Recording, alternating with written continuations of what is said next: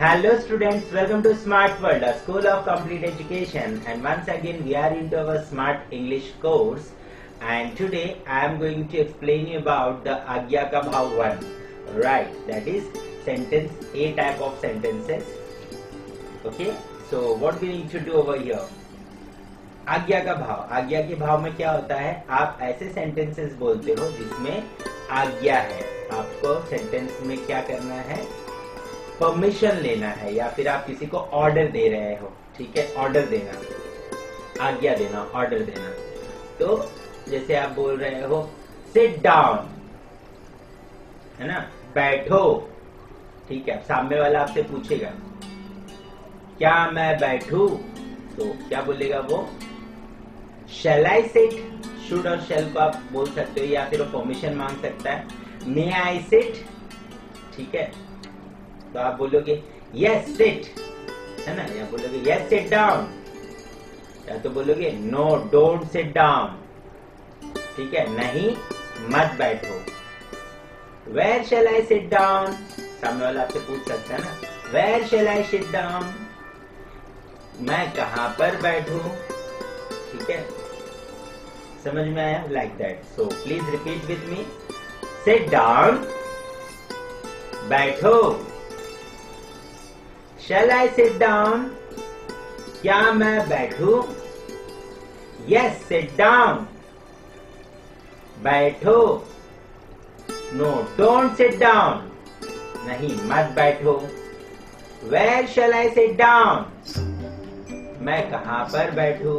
Right I बात समझ में सिंपल है? तो जब कभी भी आप क्या करोगे, किसी को ऑर्डर दोगे तो इस तरीके के सेंटेंसेस आप बोल सकते हो। किसी का नाम लेकर के आप बोलो मदर और विकास के बीच में एक छोटा सा कम्युनिकेशन हम देखते हैं, मदर से। Vikas you switch on the light repeat Vikas you switch on the light Vikas बोलेगा। Shall I switch on the light या should I switch on the light है ना? Should I switch on the light mother से yes you switch on the light mother से no you don't switch on the light because when shall I switch on the light या फिर which light should I switch on shall I switch on right समझ में आ रहा है? आज्ञा का भाव? इस तरीके से। मैं कौन सा लाइट चालू करूँ? है ना? प्रिंसिपल और गर्ल्स के बीच में बात हो रही है। Girls you dress well principal ने बोला गर्ल्स यू ड्रेस वेल आप अच्छे कपड़े पहनो। Girls shall we dress well क्या हम अच्छे कपड़े पहने? Principal yes girls you dress well हाँ गर्ल्स आप अच्छे कपड़े पहनो। Principal no you shall not dress well आप अच्छे कपड़े मत पहनो। Girls why shall we dress well हम अच्छे कपड़े क्यों पहने? है ना? कारण होगा। यदि एनुअल डे तो आप अच्छे कपड़े पहनो, ऐसा लगे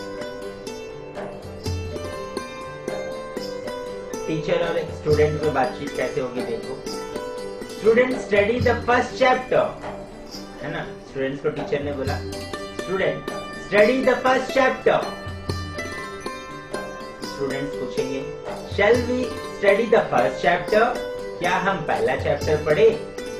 Teacher yes students you study the first chapter हाँ बच्चों, आप पहला चैप्टर पढ़ो. या तो टीचर बोल सकती है no you do not study the first chapter नहीं बच्चों, आप पहला चैप्टर मत पढ़ो.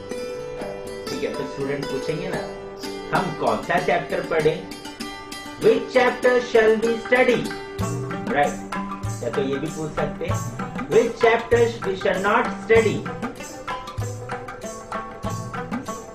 ठीक है तो उसके बाद में कुछ अलग सेंटेंसेस हमने दिए हुए हैं प्लीज़ उसके डायलॉग्स बनाइए और सर टीचर से बुक चेक कराइए और उसको ज़ोर ज़ोर से बोलिएगा ओके तो ये था आपका पहला टाइप का सेंटेंस जिसे हम कहेंगे आज्ञा का भाव वन राइट बच्चों आई बात समझ में सेंटेंस अगर नहीं समझ में आएगा, या फिर आप अलग अलग वर्ब लेकर के आप इसके डायलॉग्स बना सकते हो ना? तो बहुत सारे वर्ब है लिस्ट होगा आपको।